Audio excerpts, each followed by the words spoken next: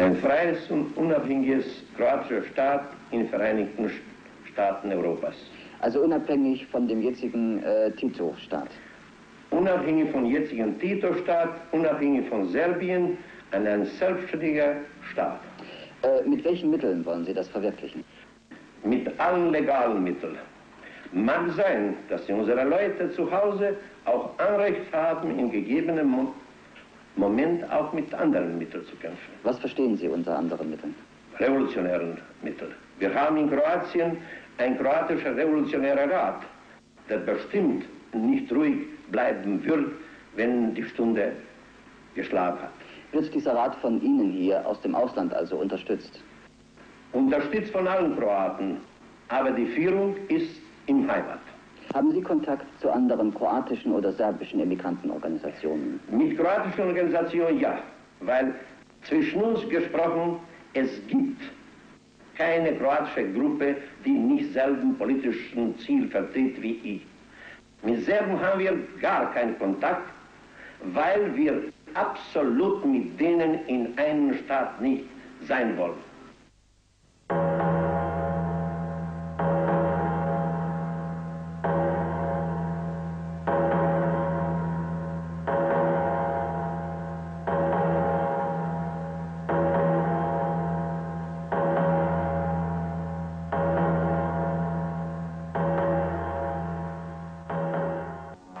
Ante Starčević, otac Hrvatske, utemeljivač genocidne politike prema pravoslavnom srpskom narodu, još u prošlom veku izbacio je krilaticu Bog i Hrvati, koju će u sljedećem veku preuzeti ustaški zločinci u stvaranju Velike Hrvatske. Pavelić, vođa Ustaša, sada poglavnik nezavisne države Hrvatske.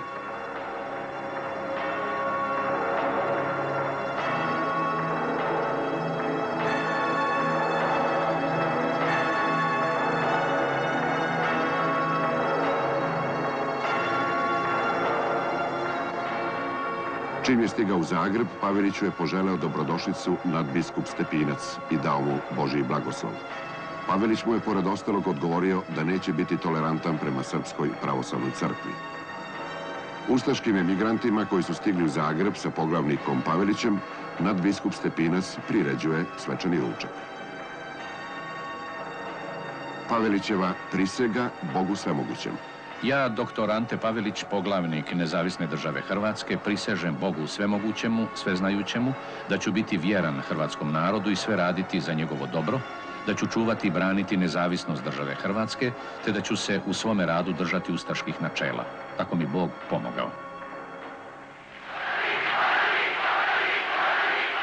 Ja vam mogu reći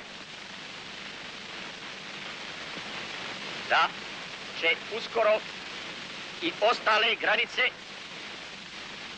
biti riješene i postavljene i to na veliko zadovoljstvo cijeloga hrvatskog naroda.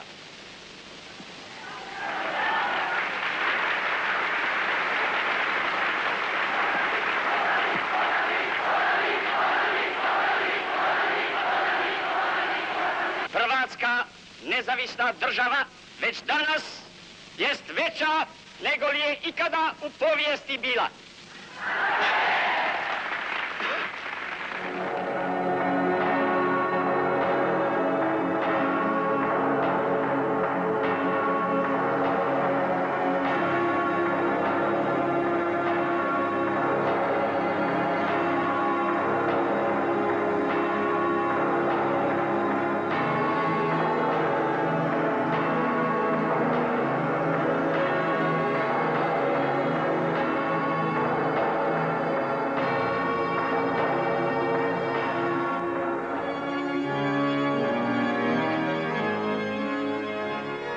Poslanica nadbiskupa Stepinca 28. aprila 1941.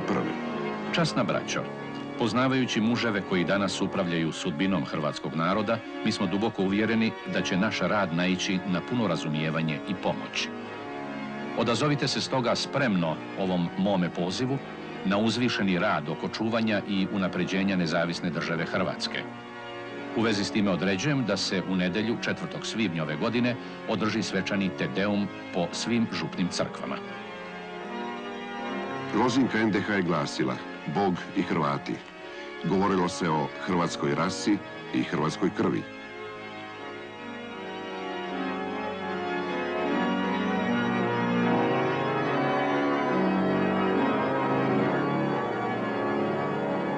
Nadbiskup Stepinac i skoro ceo niži kler zdušno su pomagali Ustaše.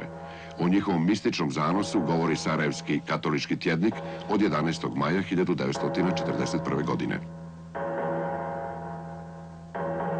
Preko naše nove mlade i slobodne Hrvatske se pojavio na nebu kao znak lik Devičanske Bogorodice. Bogorodica dolazi da posjeti Hrvatsku. Ona hoće da u svoj maternji plašt ogrne mladu, ponovo rođenu Hrvatsku, baš na hiljadugodišnju obljetnicu katolicizma u Hrvatskoj. Ona opet silazi k nama da bi na zastavi naše slobode zauzela svoje staro mesto. Hrvatska Boga i Marije, starih vremena, ponovo je vaskrsnula. Hrist i Ustaše i Hristi Hrvati zajedno marširaju kroz istoriju.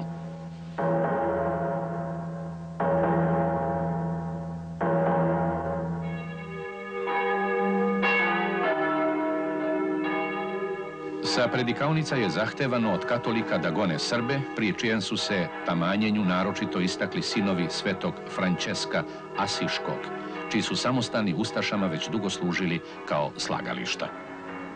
Nemački pisac Karl Heinz Denscher u svojoj knjizi sa Bogom i fašistima. Provincijal zagrebački fra Modesto Martinčić kaže Gotovo svi naši bolji samostani po provinciji izgrađeni su kao vojnička uporišta.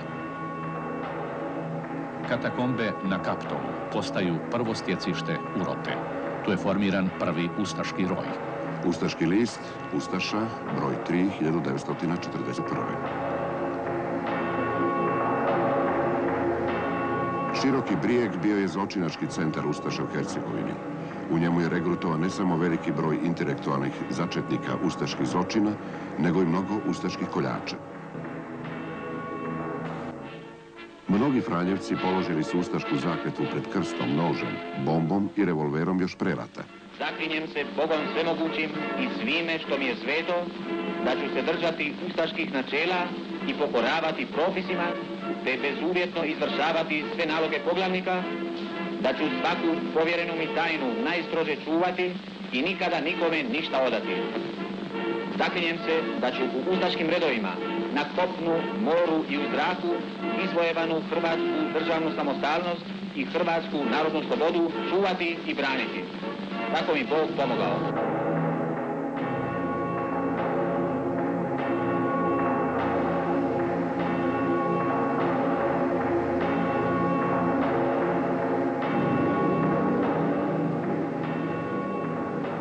Dido Kvaternik, sin vojskovođe Slavka Kvaternika, organizovao je policiju i u tom cilju naoružao bez odabira čak i ljude sa najgorom kriminalnom prošlošću. Walter Hagen. U svim kancelarijama, u svim radnjama i restoranima, tramvajima i omnibusima visili su natpisi zabranjen pristup Srbima, jevrejima, ciganima i psima. Denscher. Jedna zaista smrtna mržnja bila je uperena protiv jevreja i protiv Srba koji su upravo službeno proglašeni za Vogelfrei. To znači da ih može svak ubiti. Walter Hagen. Papa određuje za svog specijalnog izaslanika u Zagrebu preuzvišenog gospodina Ramina Markonea, a za njegovog tajnika Giuseppea Masučija. U svom dnevniku Stepinec je zabeležio. Time je Sveta stolica de facto priznala nezavisnu državu Hrvatsku. Vatikan imenuje nadbiskupa Stepinca vojnim vikarom za hrvatsku vojsku. Svaka jedinica imala je vojnog dušebrižnika sa zadatkom da bodre vojnike u izvršavanju njihovih krvavih zločina i pljačke. Sa predikaonica, putem štampi i radija, raspiruje se krvožedna mržnja prema Srbima. Fra Srećko Perić, Franjevac, sa oltara Franjevačke crkve u Gorici kod Livna, kaže Braćo Hrvati, idite i koljite sve Srbe. Najpre zakoljite moju sestru koja je udata za Srbina, pa onda sve Srbe od reda. Kad ovaj posao završite, dođite meni u crkvu gdje ću vas ispovediti i pričestiti, pa će vam onda svi gresi biti oprošteni. Poslije toga je nastao pokolj. Strahote toga pokolja izvršene toga dana lede krv u žilama i zaustavljaju dah. Ustaška rulja silovala je žene, rezala im dojke, staricama sekla ruke i noge, vadila oči, a maloj djeci odrubljivali su glave i bacali ih u krilo majkama. Magnum Crimen, stranica 651 do 652. Franjevac Vjekoslav Šimić kaže u Kninu komandantu italijanske divizije Sasari na pitanje koji je pravac vaše politike. Ubiti sve Srbe u najkraćem vremenu. Komandant divizije Sasari nije verovao svojim ušima. Tražio je da to ponovi. A ovaj, ubiti sve Srbe u najkraće moguće vreme, to je naš program. Ja se čudim, odgovori visoki italijanski oficir, da se ne shvaća užas toga predloga i da baš jedan sveštenik, usto još franciskanac, dolazi to da izjavi. Rimski dnevnik Vreme il Tempo, broj 250, strana 38. U Kninskom srezu najstrašnije zulume počinio je ustaški vođa Fra Vjekoslav Šimić. I taj sluga Božiji i svetoga Frana sam je svojom rukom ubijao Srbe. Magnum Crimen, stranica 652. Fra Marko Zovko podstrkava seljake na ubistva, pljačku i otimačinu srpske imovine i neprekidno im soli pamet. Ako i jedan Srbin ostane u životu poslije rata, da će to skupo platiti, zato treba sve Srbe u tom kraju uništiti. Ante Pavelić odlikovao je Frazovka redom za zasluge drugog stupnja. Katolička zverstva počela su razaranjem pravoslavnih crkava i zverskim ubijanjem pravoslavnog sveštenstva. U Kulen Vakufu ubijen je sveštenik Rodoljub Samarđić, kome su Ustaše pre toga na njegove oči zaklale ženu i decu. Mučeničku smrt našao je i sveštenik Miloš Vujić sa mnogim Srbima iz okoline Slunja. Njegovu ženu Danicu su živu rasporili i izvadili dete iz utrobe, a drugo dete od dve godine također su ubili. Poglavnik Pavelić pred Ustaškom vojskom izjavljuje. Nije dobar Ustaša onaj koji nožem ne može da izvadi dete iz utrobe majke. Zabeležio je u svojoj knjizi Ubice u Božje ime Erve Lorier. Istu sudbinu doživjela je i Ljubica, žena mladog ubijenog sveštenika Spase Lavrnje iz Suvaje kod Donjeg Lapca. Ustaše su joj rasporile utrobu, izvadile živo dete i ubile ga. A zatim su joj iz puške ranili i zatim zaklali četvorogodišnjeg sinčića. Slepog sveštenika Vukosava Milanovića iz Kulen Vakufa Ustaše su naterale da sluša kako mu kolju decu i nagonili ga da kolje čerku. U Veljunu srez Slunj Ustaše su naredile srpskom svešteniku Branku Dobrosavljeviću da iskopa grob za svog sina studenta. Kad je to završio, dovedoše mu sina i počeše da ga tuku bičevima pred očima oca. Kad se izgubio, dovedoše ga ponovo svesti, ocekoše mu ruku, oguliše mu kožu sa glave, povezaše ga da bi mu zadržali izliv krvi, izbatinaše ga i okončaše mu život sa udarom čekića u glavu. Onda su oca naterali da poje pravoslavno opelo nad sinom koji se zvao Stefan. Stefan Dobrosavljević. Za vreme opela otac je tri puta padao u nesvest, ali je bičem bio nagnan da završi. Na posljedku je i on bio ubijen jednim udarom Čekića. Il Tempo, broj 38. Ustaše vezaše srpskog sveštenika Bogić Đorđa za jedno drvo. Bičevahu ga do krvi, odrezaše mu uši, nos, jezik i posle mu otesterisaše bradu, podbradak. Pališe mu oči nekom svećom i kad videše da, pored svih muka, žrtva pokazuje znake života, rasporiše mu grudi nožem i opališe jedan metak iz pištolja u taj rez. Il Tempo, svedok Pejanović na saslušanju kod Italijana. Episkopu Platonu u Banja Luci i njegovom pratiocu proti Dušanu Subotiću iskopali su oči dok im je na prsima gorela vatra. Otkinuli su im nos i uši i na posljedku im zadadoše smrtni udarac. Karl Heinz Denscher, nemački pisac knjige sa Bogom i fašistima. Ubijen je mitropolit Sarajeva Petar Zimoljić i episkop Sava, kao i više stotina pravoslavnih popova. Za to vreme sarajevski nadbiskup Šarić piše odu Paveliću. Doktor Ante Paveliću ime drago, ima u njemu Hrvatska s neba blago. Nek te on, kralj nebeski, vazda vrati, vođo naš zlatni. Stepinac Paveliću. Mi vam ukazujemo od svega srca poštovanje i obećavamo poniznu i vernu saradnju za sjajnu budućnost naše domovine.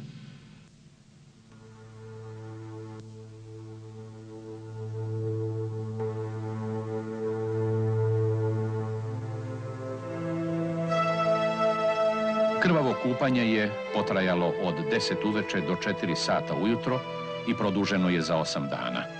Uniforme koljača morale su da se menjaju jer su bile krvlju prožete. Posle su nađena deca nataknuta na ražanj sa udovima iskrivljenim od bola. Alfred Miller, nemački pisac,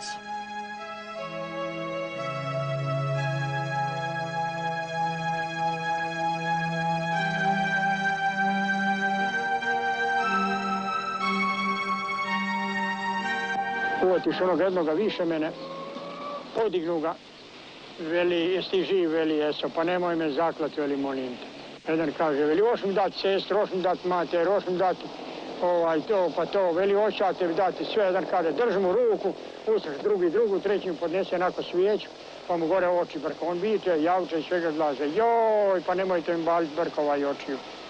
A drugi kaže, veli, kolji ga, veli, da mu su glavu se neka zmiji. Prerezamo grkle, pade dolje, čujem ja, veli, gotovo je sve sad gotovo, i on govore, gotovo, krv teče do koljena. A ja, slušajte, nekako iz onoga od Marića, pa preskočim na sred crkve, među ono onako zaplano. I on sve redom bode nožom i stane me nogom na leđa, neće me s druge strane tuče nožom. Sve računam, rekao, udar će me nožom u leđa. Neće. Opelo za sedam stotina iz crkve u glini, među zidovima, odebljalim od krikova, obogaćenim strahotom. I crvena usta svežih rana ostala su nema, puna krvi. Oni su ležali, ležali su poniženi, lišeni sebe, lišeni svega osim smrti, crni, lepljivi, zaklani, zaklani, zaklani. Ivan V. Lalić.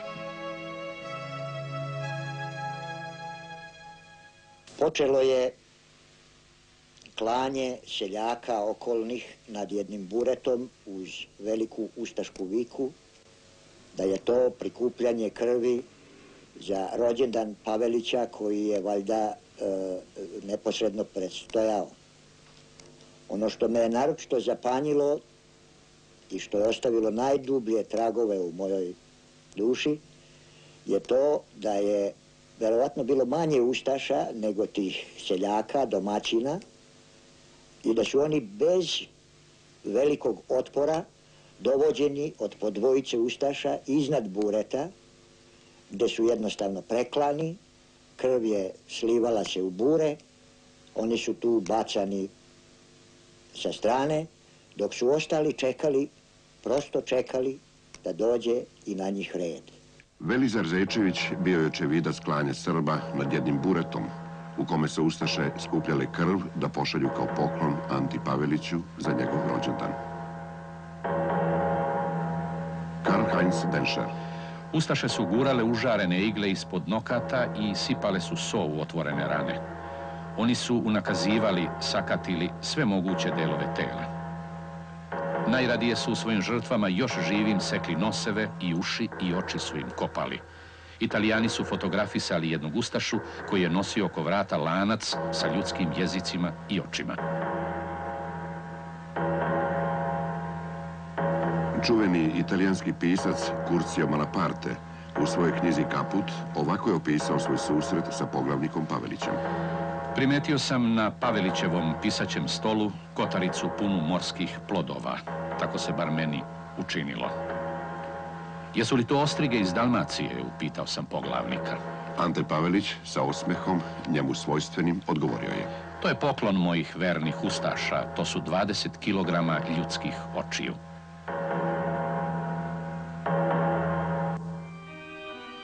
Papa prima i blagosilja Pavelića i daje mu krunice na poklon. Jakob Altmajer. Svetska istorija registrovala je mnoge krvnike i masovne ubice, nijedan od njih nije međutim bio toliko svirep da je tražio da mu se u košarama serviraju oči od njegovih žrtava.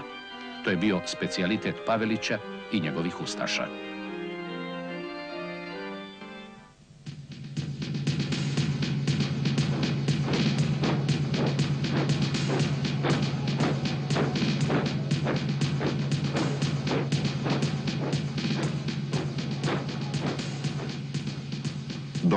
Herman Neubacher, Hitlerov opunomoćenik za jugoistočnu Europu. Hrvatski ratni pohod uništenja pravoslavnog srpstva spada u najsvirepije zločine cele svetske istorije.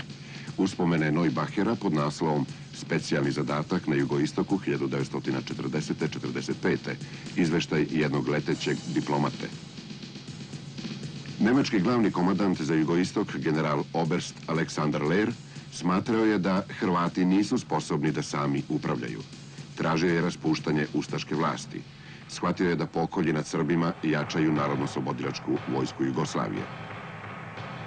Tako je na Ustaše gledao i general Glez von Horstenau, Hitlerov opunomoćenik u Zagrebu i o Paveliću je rekao Lažljivost i podmuklost glavne su osobine ovog šefa države koga smo mi postavili.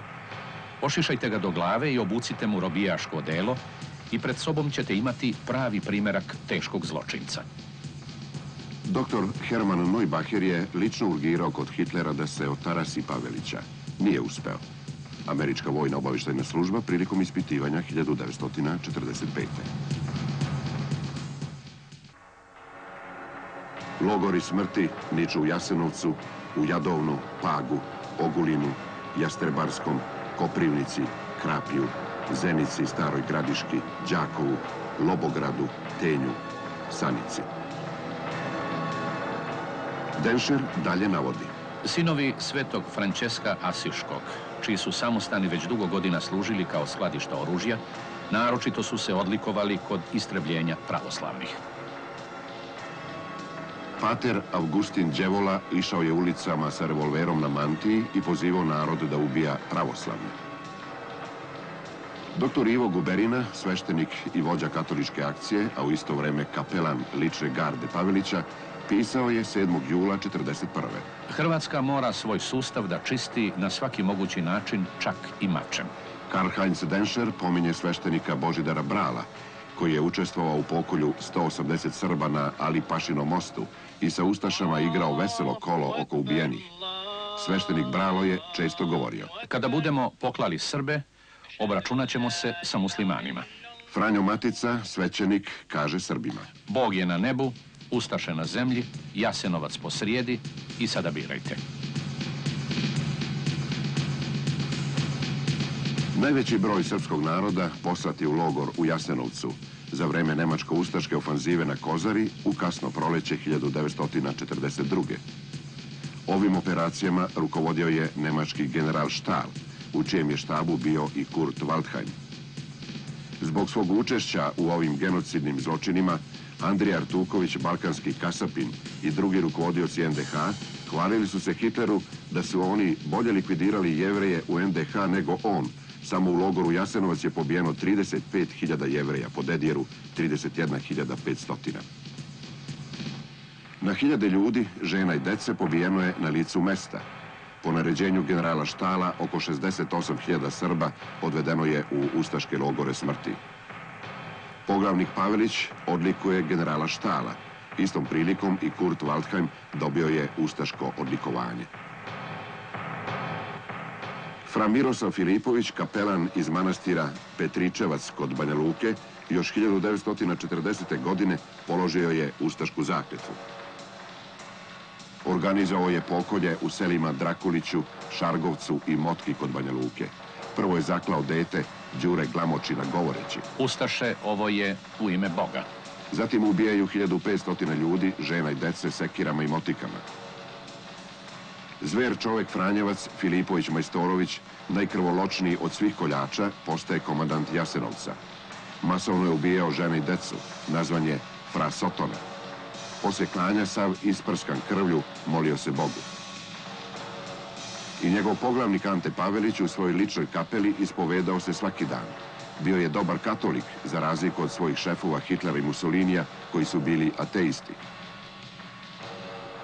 Krvniku Franjevcu Miroslavu Filipoviću Majstoroviću u Jasenovcu su pomagali sveštenici Brkačić, Matković, Matijević, Brekalo, Čelina, Vipovac i takmičili su se ko će više da pokolje Srba. Samo jedan franciskanski sveštenik, Pero Brzica, stipendistima samostana Široki brijeg, poklao je u Jasenovcu jedne noći 1350 logoraša. Kako se to desilo, ispričao je Žile Friganović, koji za sebe kaže da je najkrvaviji Ustaša u Jasenovcu. Franjevac, Pero Brzica, Ante, Zrinušić, Šipka i ja opkladili smo se tko će te noći zaklati najviše logoraša. Otpočelo je klanje i ja sam već bio poslije jednog sata po broju zaklanih daleko izmakao ispred ostalih. Obuzeo me je te večeri neki neobičan zanos. Činilo mi se kao da sam na devetom nebu. Nikad u životu nisam osjetio takvo blaženstvo. I već poslije nekoliko sati zaklao sam 1100 ljudi, dok su ostali jedva stigli da zakolju po 300 do 400. I tada dok sam bio u najvećem zanosu, slučajno sam bacio pogled u stranu i tu ugledao jednog postarijeg seljaka koji s nekim neshvatljivim mirom stoji i spokojno gleda kako ja koljem žrtve i kako se one u najvećim mukama preturaju. Taj njegov pogled nekako me presjekao. Učinilo mi se kao da sam se iz onog najvišeg zanosa na jednom skamenio i jedno vrijeme nisam mogao da se maknem. A zatim sam otišao do tog seljaka i od njega saznao da je on neki Vukašin iz sela Klepaca kod Čapljine, kome su u kući sve poubijali, a njega s nekih šumskih radova poslali u Jasenovac. On je sve to govorio s nekim nedokučivim mirom, koji je mene teže pogađao nego sva stravična kuknjava oko nas. U meni se na jednom razbuktala želja da mu razbijem mir i spokojstvo najsvirepijim mučenjem i da u njegovim mukama povratim svoj zanos i blaženstvo uživanja u bolu. Izdvojio sam ga i posadio na jedan panj. Naredio sam mu da vikne živio poglavnik Pavelić, ili ako to ne kaže, da ću mu odsjeći uho. Vukašin je šutio. Otkinuo sam uho. On nije rekao ni riječi. Ponovo sam mu rekao da viče živio Pavelić ili će mu otkinuti i drugo uho. Otkinuo sam mu i drugo uho. Viči živio Pavelić ili ću ti otkinuti nos. A kad sam mu i po četvrti put zapovjedio da uzvikne živio Pavelić i zaprijetio da ću mu nožem izvaditi srce iz grudi, on me pogledao i uperivši pogled nekako kroz mene u neizvjesnost, polako i razgovjetno mi je odgovorio samo ti dijete radi svoj posao. Posle toga ova njegova riječ potpuno me izbezumila, skočio sam na njega, iskopao mu oči, isjekao srce, preklao grlo od duha do uha i nogama ga sjurio u jamu. Ali tada je i u meni nešto prepuklo i te noći nisam mogao više da koljem. Pobijedio je franciskanac Pero Brzica jer je zaklao 1350 logoraša i ja sam mu bez riječi platio opkladu.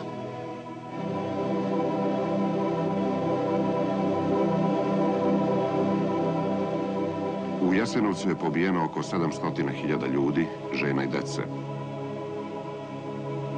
Ivan Krejačić Stevo će posle rata na tom najvećem srpskom stratištu kao predsjednik Sabora Hrvatske izjaviti srpskoj delegaciji na otkrivanju spomenika u Jasenovcu. Malo smo vas ovde pobili.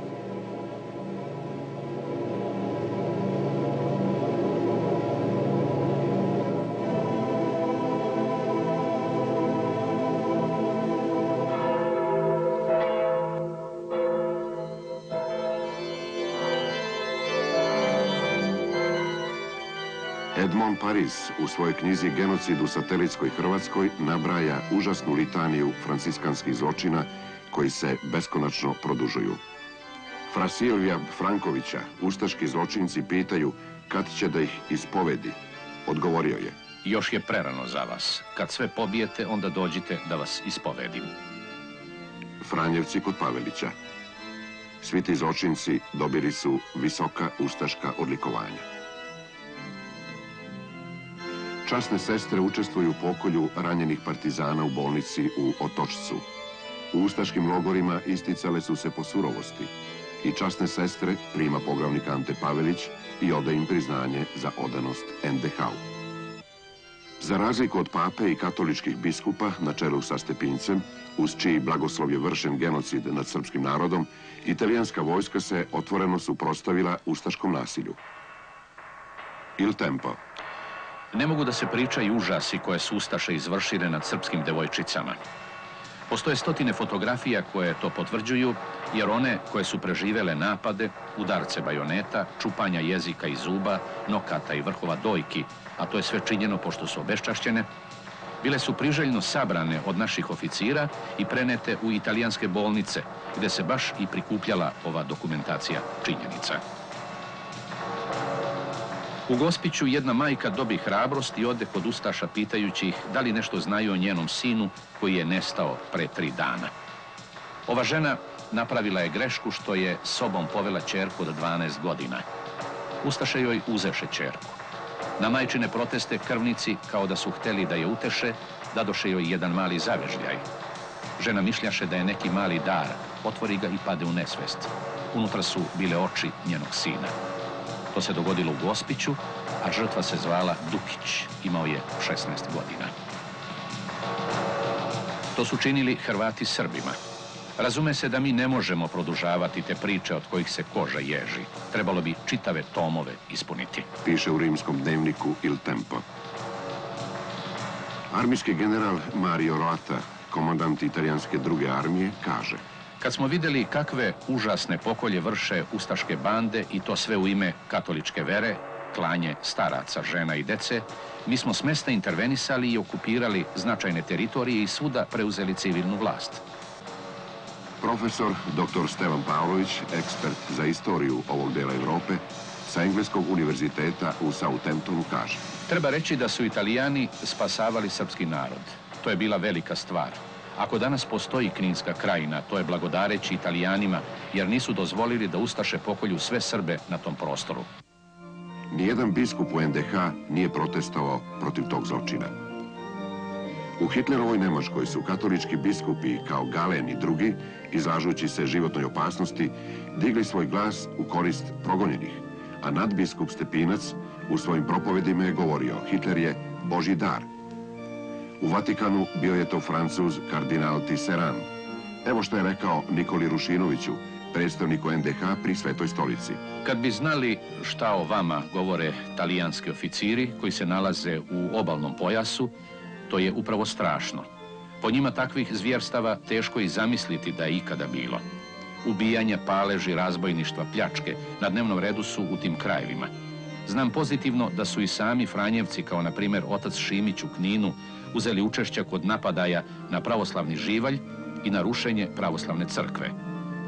Otac Šimić sam je predvodio skupinu ljudi sa oružjem u ruci koji su srušili pravoslavnu crkvu. Znam sigurno da su se Franjevci u Bosni i Hercegovini isto tako jadno ponijeli. To me boli. Takve stvari ne može raditi odgojen, kulturan i civilizovan čovjek, a kamoli svećenik. Gospodin Winston Churchill setio se Danteovog pakla. To su bila mučenja u NDH koja su nekadašnji teolozi namenjivali osuđenima u paklu. Predsjednik Roosevelt, potrešen izveštajima o divljaštvu i svirepim pokoljima Srba u NDH, izrekao je osudu. Hrvate treba staviti pod tutorstvo. Vođa američke demokratije smatrao je hrvatski narod nezrelim i nesposobnim da sam sa sobom upravlja. Ustaški zločinac Viktor Gutić je isticao.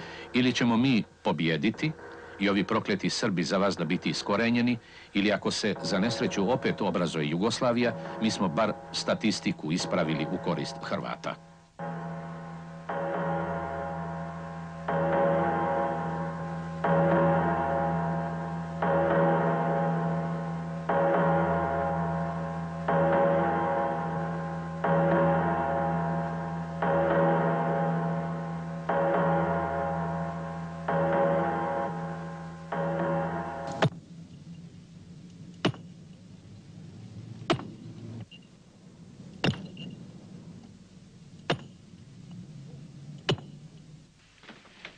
Od najsurovih zločina genocida nad Srbima bio je bacanje živih ljudi u jame.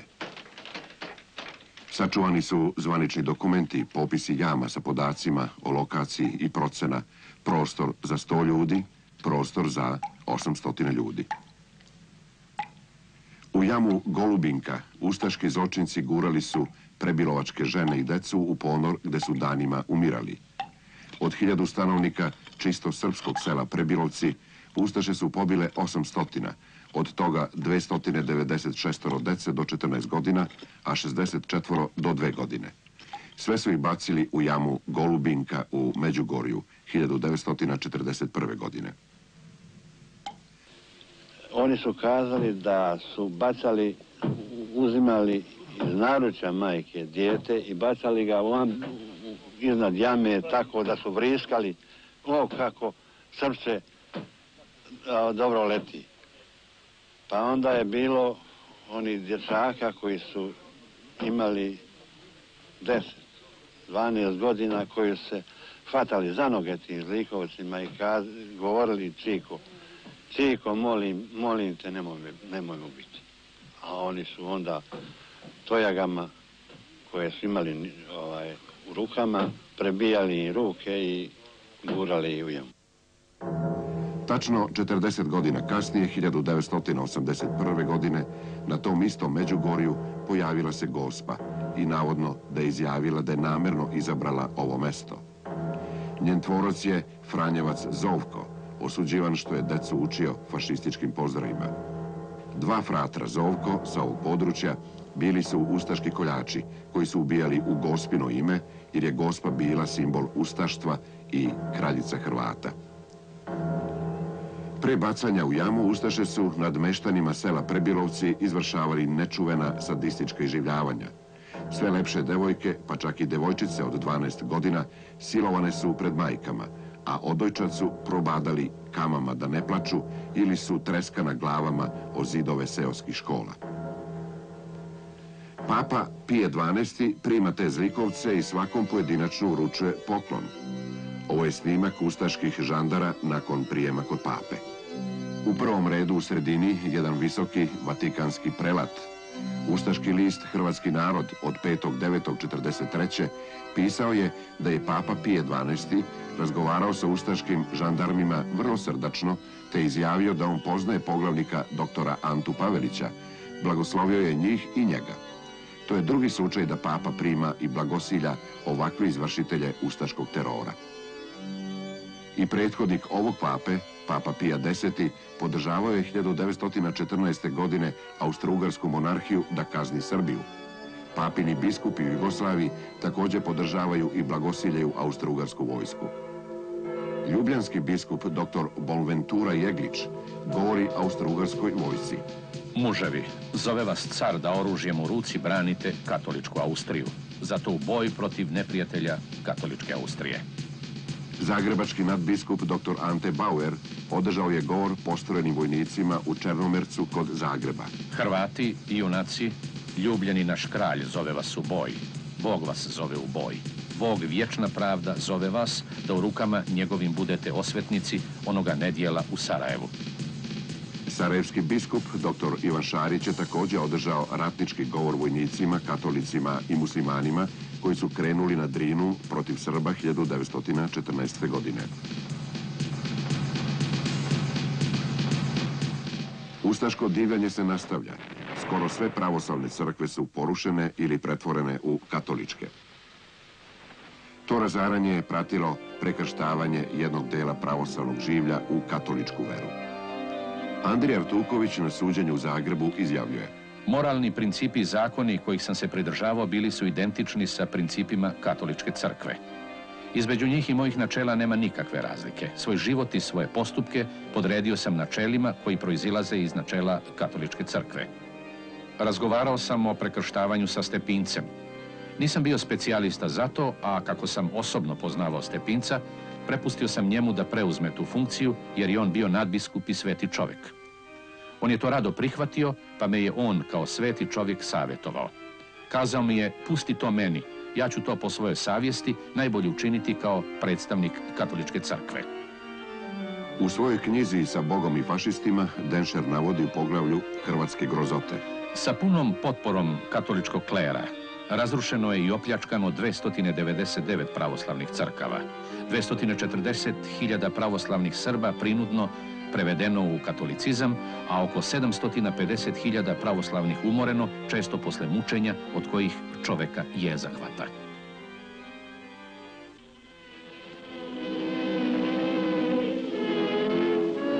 U mnogim hrvatskim mjestima, pa tako i u Mikleušu, s pastirskom brigom i razumijevanjem vrše prekrštavanje onih čiji su djedovi zabludom ostavili vjeru otaca. Ovo je snimak Franjevca Vlaha Margaretića prilikom prekrštavanja pravoslavnih Srba u slavonskom selu Mikleušu. Nadbiskup Stepinac izveštava svetog oca, papu Pija XII, da je 244.000 pravoslavnih Srba preobraćeno u Božju crkvu, rimokatoličku veru. To je prema sačuvanim zapisima papi veoma godilo. Najteži oblik ustaškog genocida je masovno ubijanje dece. Formirani su zasebni logori za decu u Loboru, Jablancu, Mlaki, Bročici, Uštici, Gradiški, Sijsku, Jasenovcu, Jastrebarskom, na ostrvu Pagu. Dragoje Lukić, dete zatočenik Ustaškog logora, ceo život posvetio istraživanjima katoličkog zločina. Kaže, Djecu su strijeljali u stalku i pelenama, klali noževima, bradvama, sjekirama, spaljivali u sobstvenim domovima, kuvali u kotlovima zavezanu u džakove i obične stroze, bacali u rijeke i bunare, žive otiskivali u špilje, jame i pećine pune krvi, gušili cijankalijem i trovali kaustičnom sodom, satirali glađu, žeđu i hladnoćom. Čitave splavove djece ljudi su vadili iz Save u Šapcu ispod zidina Kalemegdana. Prema proceni Dragoja Lukića, ubijeno je na bestijalan način oko 40.000 dečaka i devojčica, od tek rođenih do 15. godine, najviše srpske, jevrejske i ciganske dece.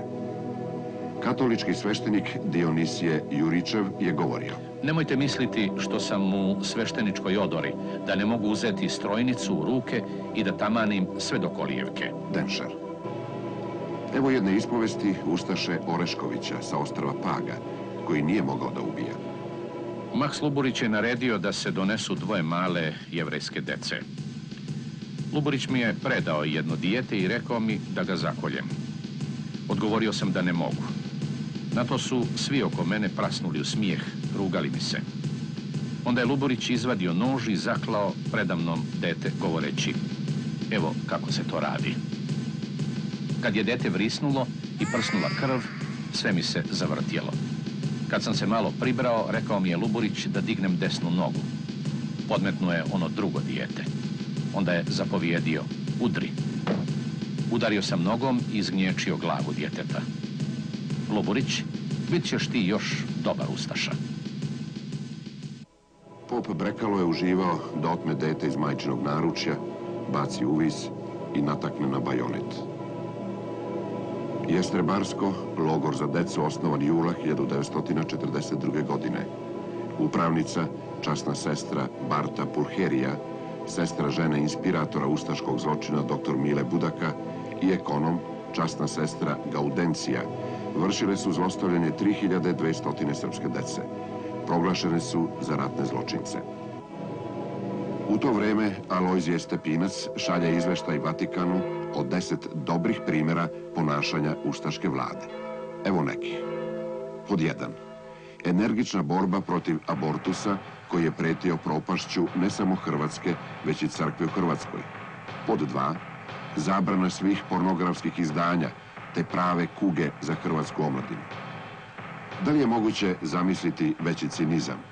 Stepinac se javno zalaže za ukidanje abortusa i za zabranu svih pornografskih izdanja u vreme dok ustaške bande sa delom njegovog klera mučki ubijaju na desetine hiljada nedužne dece.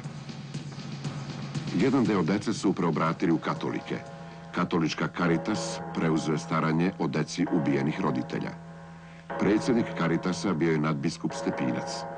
Deca su bila suviše mala, nisu znala ni svoje poreklo, ni svoje selo i lako ih je bilo pokatoličiti. Tako ima bezbroj ljudi koji danas žive kao katolici, čak kao njihovi sveštenici.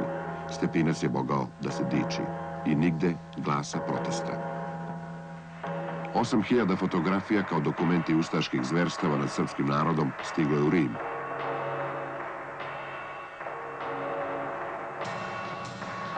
Stepinac piše papi. Osjećam se dužnim da upozorim vašu visost da materijal koji je Svetoj stolici poslala srpska propaganda služi samo da u očima Svete stolice umanji ugled sadašnjeg režima u Hrvatskoj. Narodno-oslobodilačka vojska oslobađa zemlju. Iz ustaškog uporišta samostana, široki brijeg, Franjevački zlikovci borili su se do posljednjeg daha. Kod poginulih fratara nađene su znatne svote dolara, milioni kuna, kao i ustaške legitimacije. Početkom maja 1945. dok nemačke i ustaške trupe napuštaju Zagreb, nadbiskup Alojzije Stepinac prima od ustaške vlade na čuvanje arhiv Ministarstva vanjskih poslova NDH, pa je potpisao potvrdu primitka. Istovremeno, nadbiskup Stepinac saglasio se da Franjevci na Kaptolu zakopaju jedan deo Pavelićevog zlata, mahom zlatnih zuba žrtava u Jasenovcu, kao i ostalo opljačkano blago. Ustaški poglavnik Ante Pavelić, kad je video da su izbrojeni dani Hitleru i njegovim kvinsliškim tvorevinama, stavio je na raspolaganje 100 miliona kuna sa zadatkom da se katolički episkopat zauzme za spasavanje ustaških ratnih genocidnih zločinaca od suda pravde. Pre bekstva Pavelić je pozvao na ručak predstavnika Vatikana Markonea i Basučija i biskupe na čelu sa nadbiskupom Stepincem, da im se zahvali na dobro obavljenom poslu. 5. maja 1945. pobeže Pavelić sa vladom, svojom porodicom i nekoliko hiljada ustaša, između njih i 500 katoličkih sveštenika. Pobegli su i zločinci nadbiskup Sarajevski dr. Ivan Šarić i nadbiskup Banja Lučki Josip Garić. Pavelić i Artuković, bogato natovareni i opljačkanim zlatom, nađoše utočište u samostanu svetog Gilgena kod Salzburga. Pavelić, koji se u Austriji nije osjećao sigurnim, stiže preobučen kao sveštenik Franjevac u Rim, gde je zaštićen od Vatikana živeo u jednom samostanu kao pater Gomec i pater Benarec. Sobom je nosio 250 kg zlata, 1100 karata dragog kamenja. Denšar. Patrijarh srpski, Gavrilo Dožić, boravio je tada u Rimu 1945-46. i u svojim memoarima kaže kako ga je Papa Pije XII. pozivao na sastanak i nudio mu lični smeštaj i vilu u Rimu. Posrednik je bio slovenac dr. Miha Kreka, šef katoličke partije Slovenije u emigraciji. Evo što je patrijarh srpski rekao posredniku. Vi sami znate šta se dogodilo u našoj državi. Izvršen je pokolj nad nedužnim ljudima, ženama i decom, koji po svojoj svireposti čini najsramniji period kroz 20 vekova hrišćanske istorije. Po savezničkim izvorima ubijeno je između 700 do 800 hiljada Srba. Episkopi su bili potkivani sa pločama na nogama kao neke životinje. Njihove brade bile su kleštima čupane ili pak živima sečene uši i nos i vađene oči i sve drugo što je bestijalnost ljudska mogla izmisliti. Silovanje žena, vađenje dece iz utrobe materine. Što je glavno šef katoličke crkve, rimski papa, nije ni prst digao da osudi ovo zločinostvo. I ne samo da se čutalo, nego je glavnog naredbodavca tih zločina Antu Pavelića papa primao u audijenciju u Vatikanu i blagosiljao ga. Sigurno je da se i danas krije iza papinog skuta kako ne bi odgovarao za svoje zločine pred ljudskim zakonima. Molim vas, kako ja mogu da pređem preko toga i da idem u Vatikan na noge papi? Moram da vam podvučem da je za vreme rata bilo ljudi katoličke vere koji su osudili pokolj Srba. To je bio Francuz po poreklu, kardinal Tisseran, koji se i sada nalazi na visokom položaju u Vatikanu. U oslobođenom Zagrebu od strane Narodno-slobodilačke vojske vidi se Stepinac na svečanim tribinama u novom društvu sa Bakarićem i drugim rukovodiocima iz Narodno-slobodilačke borbe. Možda u ovim snimcima treba tražiti početak sakrivanja ustaškog zločina genocida. Uklanjaju se svi tragovi logora smrti Jasenovac. Nijedan objekat ovog genocidnog mučilišta nije obnovljen, kao što su i jame betoniranjem sakrivene. A Ivan Stevo Krajačić, predsjednik Hrvatskog sabora, izjavit će Istraživanje ustaškog zločina je uvreda za hrvatski narod. Vatikan je uspeo da hrvatsko-katoličke crkvene zločince skloni da bi izmakli svetovnoj vlasti. Istovremeno u Nemačkoj su procesi ratnim zločincima obavljeni jedan za drugim. U Nirbergu, u Dachau, u francuskoj okupacijonoj zoni, u Engleskoj. Upotrebit ću sav svoj autoritet da ne dođe do izručenja Pavelića, jer Pavelić je dobar čovjek i dobar katolik. Rekao je Papa Pije 12. tajni dokumenti. Dokumenti kontraobaveštenog korpusa Sjedinjenih američkih država, koji su javnosti postali dostupni tek 1986. godine, pokazuju da su britanske i američke okupacione vlasti znale da se u Vatikanskom skrovištu u Semiranu Svetog Jeronima u Rimu, u ulici Giacomo Venecijano 17C, pod okriljem nadbiskupa Stepinca i svećenika Krunoslava Draganovića, kriju najodgovorniji genocidni zločinci Endehazije, na čelu sa poglavnikom Antom Pavelićem. Iz dokumenta armije Sjedinjenih američkih država vidi se da je pop Krunoslav Draganović uz podršku Vatikana preko svog tunela Pacova prebacivao ustaške zločince u Južnu Ameriku. Ustaški genocidni poglavnik dr. Ante Pavelić u ličnoj pratnji popa Krunoslava Draganovića ukrcao se na talijanski brod Sestrijere sa pasošem na kome je pisalo Dal Aranios i u luku Buenos Aires bezbedno uplovio 6. novembra 1948. godine sakriven iza fratarske odore. Balkanski kasapin ili balkanski Himmler kako su zvali Andriju Artukovića, ministra unutrašnjih poslova zločinačke NDH, uz pomoć Vatikana, prebacio se u Sjedinjene američke države. Generalna skupština Ujedinjenih nacija usvojila je konvenciju o sprečavanju zločina genocida i da kažnjavanje tog zločina nije nacionalna, nego internacionalna obaveza. Međutim, Vatikan je bio jači i od Ujedinjenih nacija. Italijanski general Giovanni Esposito piše u svojoj knjizi na ivici knjige Trsti njegova Odiseja iz 1952. Knjiga ima dodatak Istorija Ante Pavelića. Zaista je čudno da među svim poglavarima totalitarnih država koje su bile združene sa Mussolinijevom Italijom i Hitlerovom Nemačkom, jedini Pavelić nije bio ni zatvaran, ni pod sud stavljen radi akata protiv čovečnosti koje je počinila njegova vlada. Odgovor na ovo pitanje imamo u jednom dokumentu kontraobaveštenog korpusa Sjedinjenih američkih država, gde jasno i otvoreno piše Pavelićeve veze su tako visoke i njegov položaj je toliko kompromitujući po Vatikan da bi njegova ekstradicija zadala porazan udar rimskoj katoličkoj crkvi. U Jugoslaviji narodni sudovi su osudili mnoge ratne zločince, među njima i mnoge ustaške sveštenike. Nadbiskup Stepinac, pošto je nastavio protunarodni rad i u oslobođenoj Jugoslaviji, osuđen je 1946. godine Optuženi posljednji puta ulaze u sudnicu da čuju osudu Narodnog suda. U ime naroda, Vrhovni sud Narodne Republike Hrvatske u Zagrebu, u krivičnom predmetu protiv optuženih Klisa Heriha, doktora Stepinac Alojzija, Šalić Ivana i družine, radi krivičnih dijela i zakona u krivičnim dijelima protiv naroda i države, dana 11. listopada 1946. donio je i proglasio sljedeću presudu. Drugo optuženi dr. Alojzije Stepinac na kaznu lišenja slobode prisilnim radom u trajanju od 16 godina.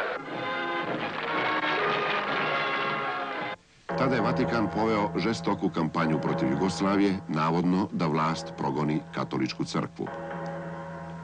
Već 1951. godine nadbiskup Stepinac pušten je iz zatvora i određeno mu je prinudno boravište u rodnom Krašiću. Monika Farel. Kao rezultat vatikanskog pritiska Stepinac je oslobođen zatvora. Tako je ubica preko milion Srba pušten da se slobodno pridruži ostalim zaverenicima i uskoro će krv još jedne generacije biti prolivena u još jednom Vatikanskom ratu. Josip Broz Tito im je ovako odgovorio. Tačno je da smo mi hapsili i neke predstavnike crkve, ali samo one koji su sarađivali sa okupatorom. Takav je slučaj bio i sa nadbiskupom Stepincem u Zagrebu, koji je bio Ustaša. Za vrijeme rata u Hrvatskoj je prekrštavao pravoslavce u katoličku vjeru. Sarađivao je s Nemcima i Ustašama.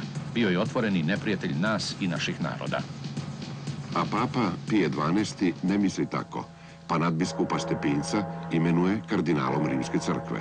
Iako odsutan, mi ga grlimo našom očinskom ljubavlju i živo želimo da svatko znade da udjeljujući mu kardinalsku čast, naša je jedina želja bila nagraditi njegove velike zasluge i čvrstu vjeru njegovog naroda, koji u ovim teškim vremenima hrabro ispovijeda vjeru katoličku.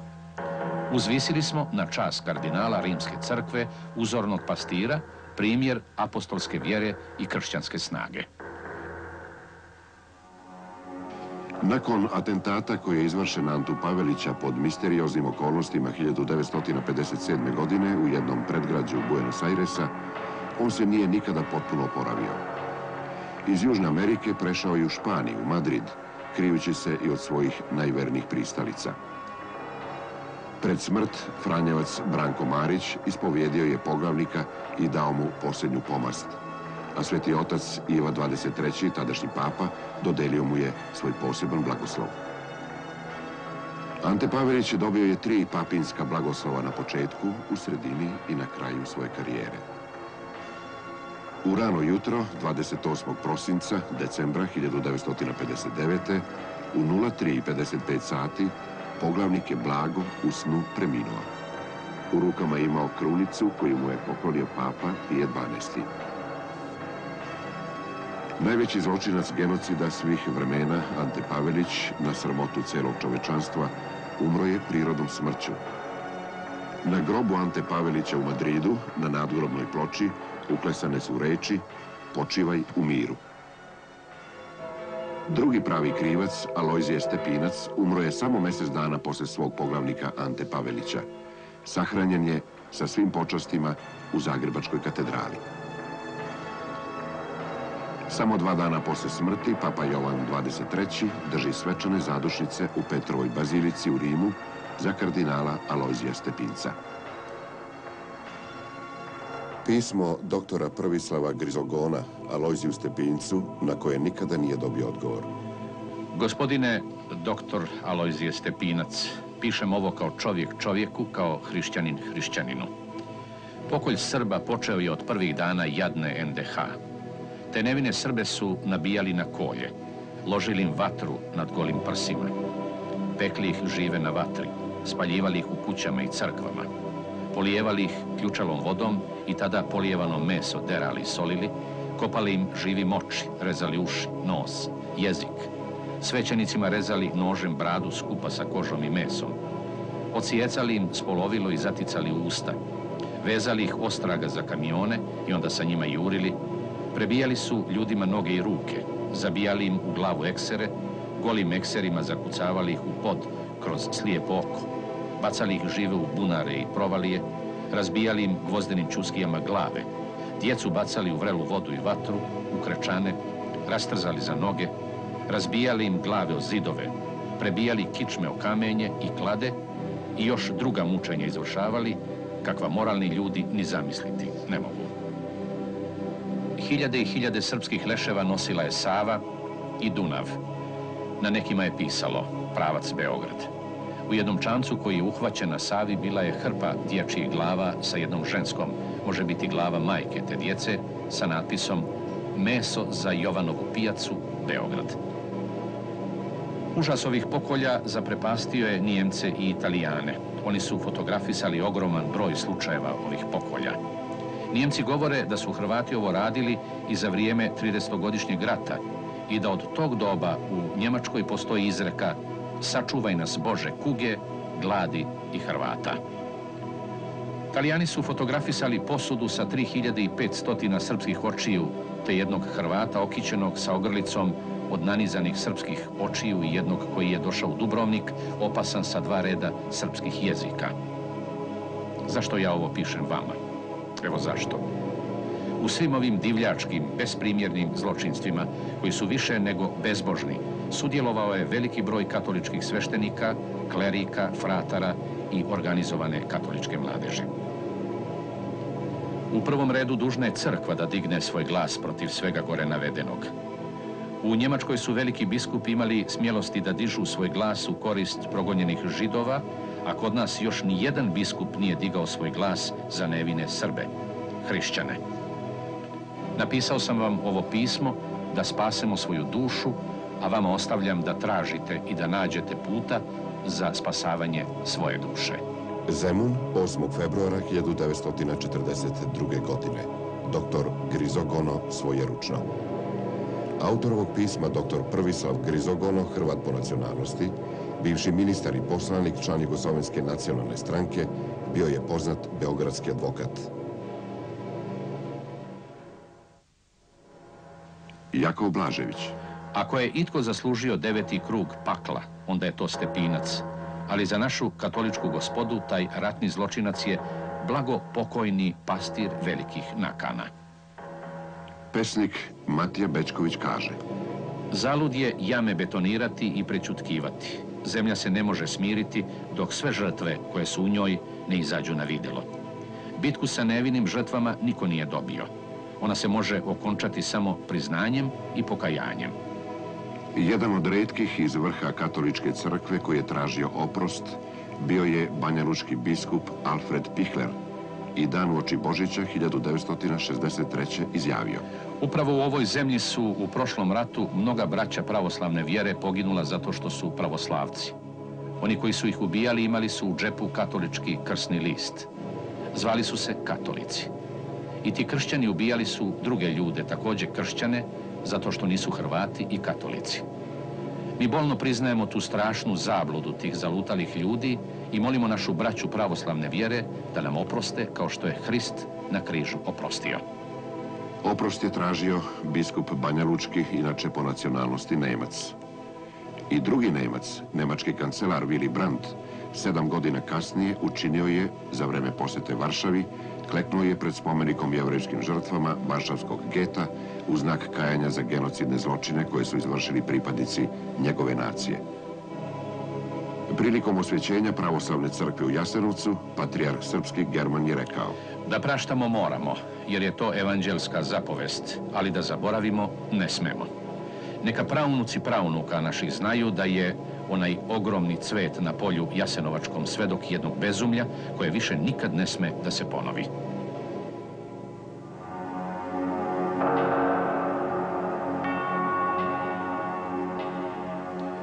Iako svesni činjenice da ima mnogo valjanih i čestitih ljudi koji su slučajno rođeni kao rimokatolici, ipak je istina da je ova vera kao sistem oduvek bila nemilosrdno okrutna. Monika Farel.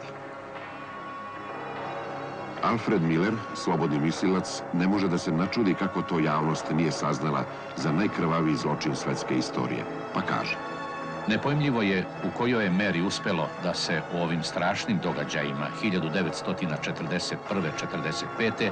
širio grtač čutanja i zaborava. Ali nije čudno da je to pokušano svim sredstvima. U stvari, istina nije mogla da prođe kroz gusti filter Rimske crkve. Akademik Vladimir Dedijer, predsjednik Raselovog suda i član Raselovog suda Christopher Farley, uputili su 6. septembra 1986. pismo papi Jovanu Pavlu II. povodom vijesti da prilikom posjete Jugoslaviji odbija da posjeti Ustaški logor smrti u Jasenovcu. Pozivamo vas da dođete na mesto tih užasnih zločina, najgorih primjera smrtnih grehova i da se pomolite za spasenje duše crkve, pošto se te strahote ne mogu ni zaboraviti ni oprostiti. Ako obavite tu iskrenu samokritiku, tim činom pomoći ćete mnogim narodima širom sveta u borbi protiv genocida. Ako ne, ljudi će sami izvući zaključke o Vatikanu.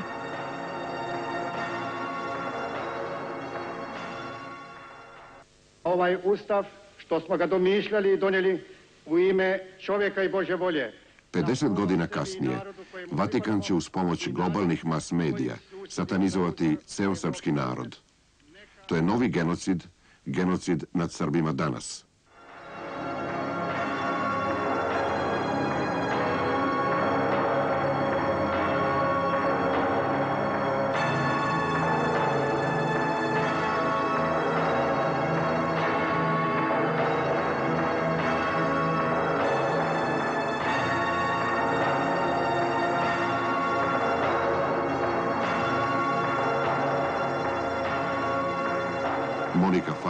U svojoj knjizi Proždrljivi vuci kaže Molit ću Boga da iskoristi ovu knjigu za buđenje naroda Australije, koji smatra rimske sveštenike i biskupe čuvarima Božjeg stada. Ali prava istina je da su oni ti koje je naš gospod Isus Hristo pisao kada je rekao Čuvaj se lažnih proroka koji dođu u jagnjećoj koži, ali u duši su proždrljivi vuci.